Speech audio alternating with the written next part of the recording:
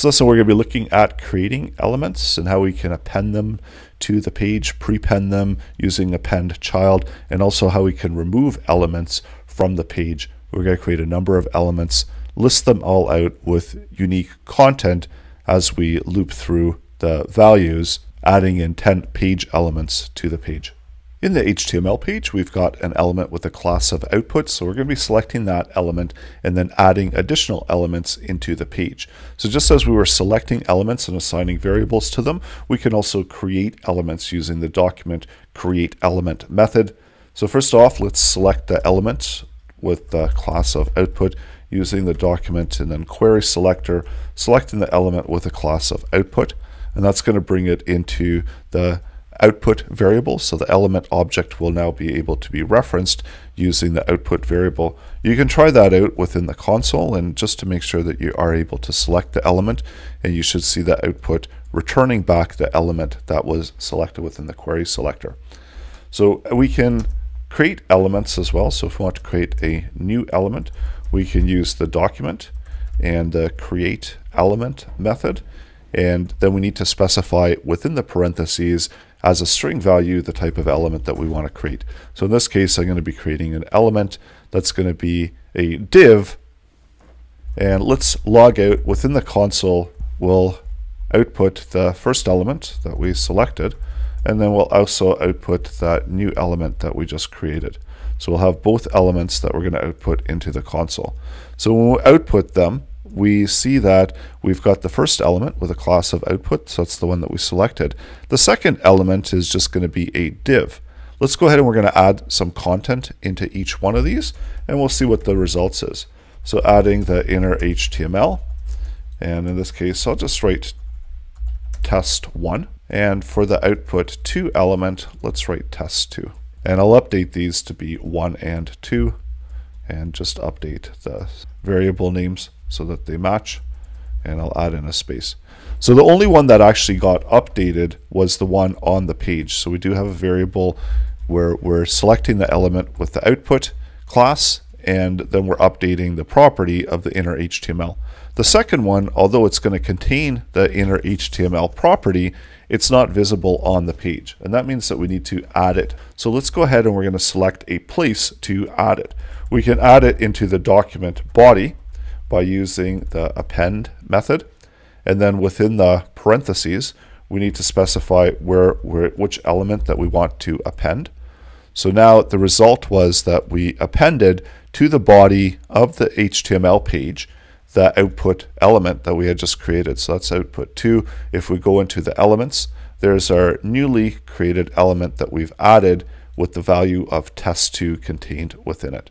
So if we wanted to append it into an existing element, so let's go ahead and we'll do that, where we've got an element that we've already selected, and that's going to be the output 1, and we're going to append the output 1 with the output 2. And we'll see what the result is now.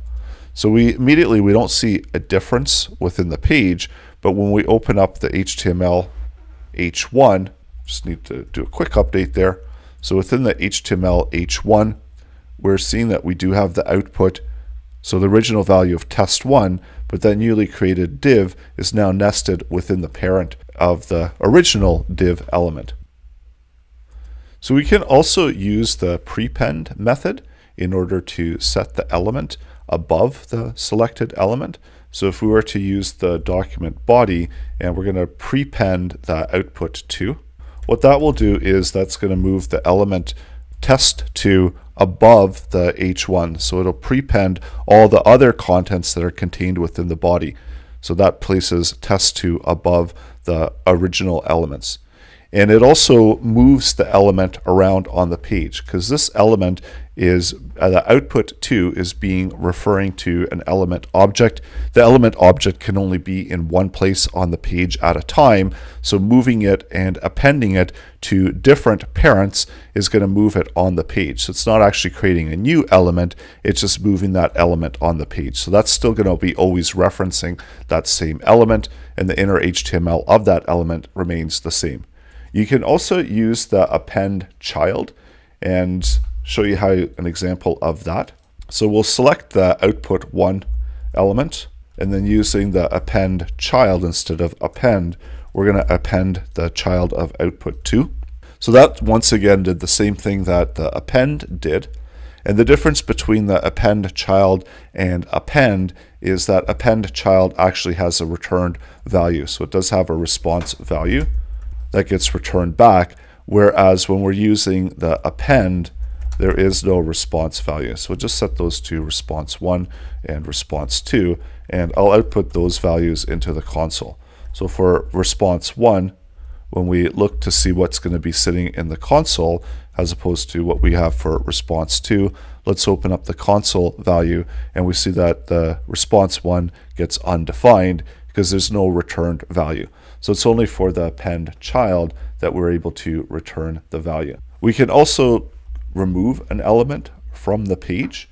So if we want to remove an element from the document, we need to select the element that we want to remove. And the remove child removes an element from the parent. So we do need to know the parent element in order to do the remove.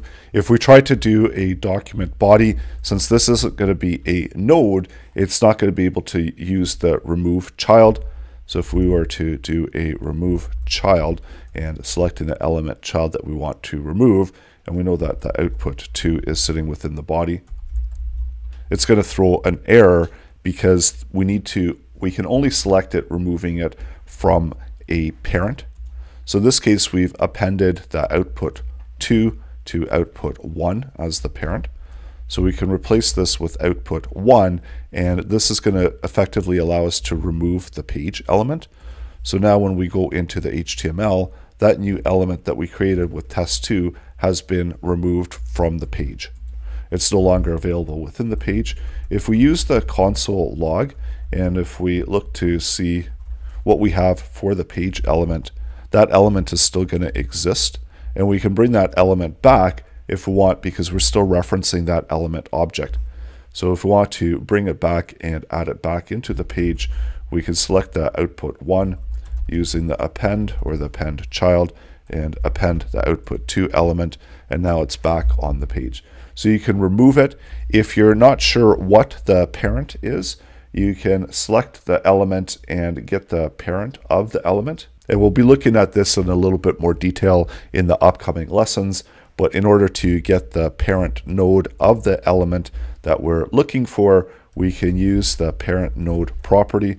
So let's select the output 2 element. And if this is the one that we want to remove, we, we can get back the parent node value. And this will return back within the console the current parent node which is the element with the output.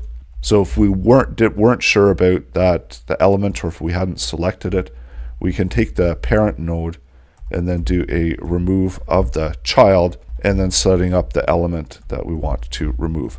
So that will effectively select the parent and allow us to do a remove child from that parent element that we're selecting the parent node of that element. So create a quick loop we'll create a bunch of elements on the page and we'll add them all into the output. So depending on how many elements we want to create, let's create a 10 elements within the page and we'll use the output 1 as the parent element.